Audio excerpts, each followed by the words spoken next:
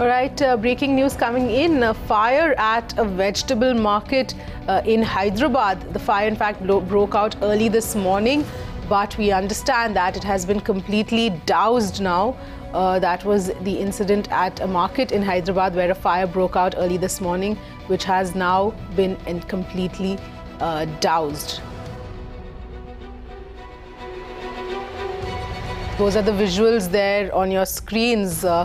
The fire there at a vegetable market in Hyderabad, which was completely, it's doused off now, but it had broken out early this morning. Uh, we yet to ascertain the cause of the fire, and those are the visuals there on your screens. Uh, looks like quite an extensive fire there, but it, has, it is now under control, and uh, no reports yet of any casualties there. Let's go across to Paul for more details. Uh, Paul, do we know what really caused the fire and whether or not there were any uh, injuries or casualties at all? Well, it was early this morning that the fire broke out at Uppal Vegetable Market in Hyderabad, which is one of our popular markets in the city of Hyderabad. In fact, because it was night time, there were no people around when the fire accident took place. Uh, only few workers as well as hawkers were actually sleeping around the area.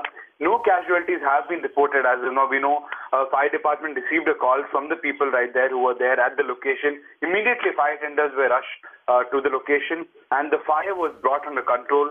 Five shops were gutted in this particular fire accident. Uh, the information that we have, it is because of a short circuit that the fire broke out. Investigation is underway as to what exactly led to it. Prima facie, it looks like a fire accident which was caused by short circuit.